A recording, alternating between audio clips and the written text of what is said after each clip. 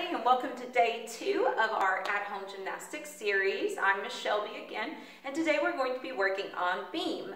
So for your supplies today you're really going to need some either masking tape or painter's tape to lay a beam on the floor. Now if you have an at-home beam it's really not that hard to make. If you have a really crafty mommy or daddy they can get a um, four by four uh, post and put some little legs on it. So that might be an at-home project you might be willing to try to tackle and then you cover it in a carpet or a foam uh, wrapping. But for me, I have my piece of painter's tape laid on the ground. So today we're gonna start with our warm-up. So we're gonna do jumps today. Now, first we wanna start with our stretch jump. We wanna squeeze our arms and legs and go straight up and down and stretch, stretch, stretch, jump. Very good. And now we're going to do our tuck jump. Ready? Knees up to our tummy. We want those feet flat or pointed. We do not want to go back to our bottom. So tuck jump, tuck jump, tuck jump. Good job, everybody. I want you to do at least 10 of those. Keep going. Tuck, jump, tuck, tuck, jump, jump. Good job. Now we're going to do our straddle jump. Arms out or up to the side. I like to keep my arms up, up, up out and together, point those toes out and together, nice and straight. Straddle jump, straddle jump, straddle jump. Very good, friends. And now we're going to do a split jump. Remember, we put our, our cartwheel leg in front and our opposite goes behind, arms up or out. Split jump, point your toes, split jump, split jump, split jump, split jump. Good job, five of those. And then we're gonna do a star jump. And that's basically a jumping jack, star jump. Your arms are gonna come out and your feet are gonna go out in a straddle jump. Good job, friends. Now we've got our heart really pumping and we're going to do our position. If you remember what was yesterday, do you know? Let me hear. That's right, arabesque turn. So let's review that arabesque turn. Cartwheel leg down, pointy leg out. I'm going to scoot back a little bit so you can see. Practice it on your beam. Try to stay on your line. Arabesque, turn, and turn back around. Good. And again, and turn back around.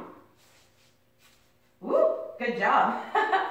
it is kind of difficult. Today, our new position is going to be the seal. We did these in class, but I wanted to bring in new ones, reviewing some of our old ones. I didn't want to get too far ahead of our lesson plan, so we're going to do a lot of reviewing from past events. So the seal position or the mermaid position, we want to lay down on the ground. We want to squeeze our feet and our legs together while pushing up as tall as we can, squeezing the whole time. Good job, friends. Let's do five. Let's go down and push up. Put your hands as far back as you can, really stretching that tummy and squeezing those legs again. And come up. Good job. You see anything, mermaids or seals? Good job. Come down and up. All right, squeeze, squeeze, squeeze those legs. Don't stop pointing those toes and come back down. And one more time, squeeze, squeeze, squeeze, looking around. Good job. I know some of you, my friends in my level one class, y'all are able to put your toes to your head. Some of you might be able to do that. Miss Shelby is definitely not that flexible. So we're gonna start on our beam today. Like I said, plenty of space. I've got my painter's tape here on the floor asking mommy and daddy to help you get that tape and put it in a safe place. Painter's tape, of course, will not stick to your hardwood or your laminate. It's very easy to get off. Please don't use duct tape. It will leave residue. So I like to use painter's tape because it's easy to get off. So let's start with our passe hold. That's actually the new thing we were going to do in beam anyway. So what we're gonna do, I'm gonna turn this way because my cartwheel leg is my left and it will stay down on my beam. When we go up into passe, we want to make a P with our leg. So our toe is pointing to our knee and we are not laying it flat. It's not a tree in yoga position. We want to point to our knee. And so we're going to say passe, we're going to hold it. Try to switch your feet. Passe, hold. Do the other foot again. Passe, hold. Try to go in releve. Ooh, that's going to be harder. Passe, hold. And do the other foot. Releve. Passe, hold. Good job. Squeezing that bottom, reaching up, up, up through our body. So that is passe, hold. Now, next we're going to do our, excuse me, arabesque turns we already did on the beam, but let's do one more so we can get all balanced. Arabesque. Hold it, because arabesque are always good to practice. Let me see. Hold it, hold it, hold it. Good job. And we're going to turn, flip it. Oh, who held it with me? I see you there. Good job. Flip it back. Ready? One, two, three, go. Good job, everybody. Try to go up on releve in your arabesque. It's even harder. Good job, friends. Next, we are going to do our levers. So that's the next step in our arabesque. We all know what levers are, but let's review. We're to put that cartwheel leg down. This time we are to tip all the way down to the beam. Remember, in your arabesque, you want to keep your chest up, but this time we're to go down and touch in that lever. Be sure, when your hands start to go down, your foot is going to start to come up, keeping our body straight. Like there's a pole going from your hands all the way down to the tips of your toes. So ready, friends? Let's do that lever. T all the way body control. Touch, touch, touch that beam. Good. Now when you come up, your whole body comes up, squeezing, squeezing. Good. I want you to do three of those. Ready? Go ahead. Very good. I want you to do three. The next time we're going to do our pivot turns. Now we're going to walk those feet. Your cartwheel leg should be in front. Locking that opposite foot behind you, arms up or out. And we're to pivot turn, turn in towards the foot that's behind because or you will fall down. Crisscross your legs. Pivot turn. Good. Keep pivot turn back. Pivot turn. Whoop. Good. Squeezing our bottoms. Pivot turn. Squeeze nice and tight. Pivot turn. Good. Because if you turn the other way, up, I can't do it. Your leg's in the way. So be sure just practice a few of those pivot turns. The next thing we want to do is our kick steps. Go all the way to the end of your beam. Arms out nice and tall. And kick with pointy toes all the way up to your belly or higher. Kick, step, chest up, looking at the wall. Now turn around and do it again. Kick, step, all the way up to your belly. Look at the wall. Kick, kick, kick. Good job, everybody. Do that a few times for me. Be sure if ever you want to practice a little bit more on something, pause that video because I'm going to keep moving on so that way we can get everything done in our video. So the last thing we want to practice is our grapevines. We did this as a position a few weeks ago. I'm going to start off on the end of my beam. Arms out to the side. You're going to cross in front of your feet, step, and then cross behind. Step, cross in front, step, cross behind. Notice how my hips are facing forward the whole time. Keep your body facing the wall. Good job. And I want you to go back. Step in front, step behind. Good. Step in front. Good. Step behind. Very nice. If you want to get really fancy, go up on releve. Ooh, it's a little harder. There we go. Very nice, friends. Now, because beam is so much fun, and that one we really can do at home, we're going to do some of our basic five today on the beam.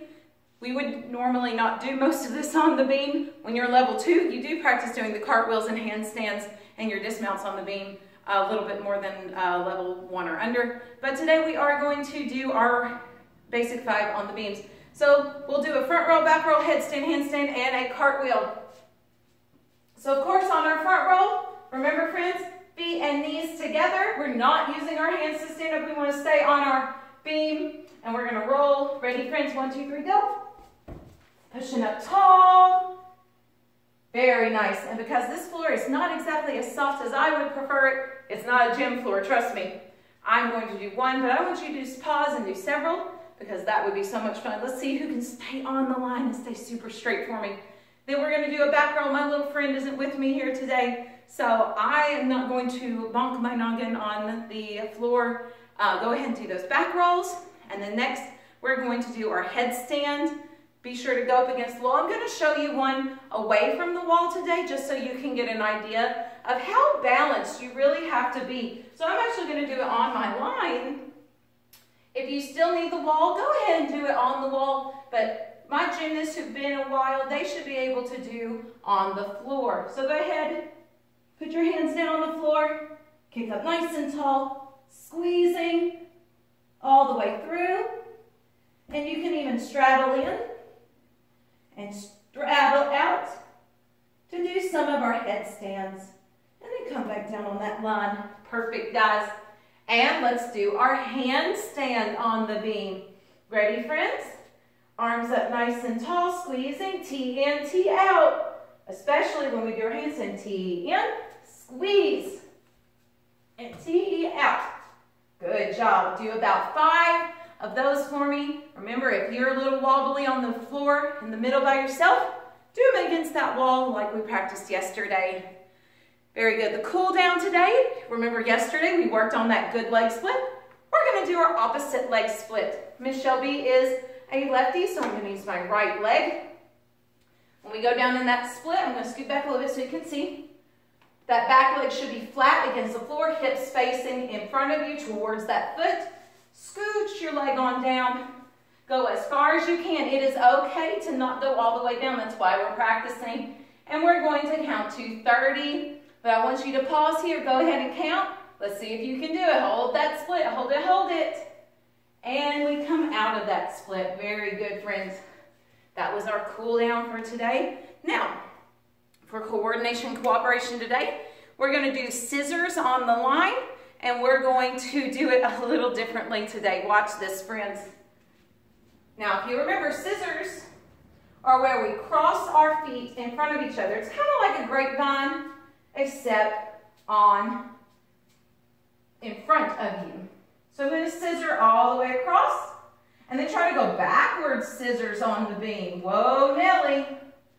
That's kind of hard. Crossing that midline. I know, I know. Now try to go releve and do your scissors. Criss, cross, criss, cross. Now, try to go backwards. Criss, cross, criss, cross. Very good, friends. Now, this is going to be really hard. When you step with one foot, touch your nose with the other. Criss, cross, criss, cross, criss, cross. It's kind of hard. Now one more with our crissing crossing.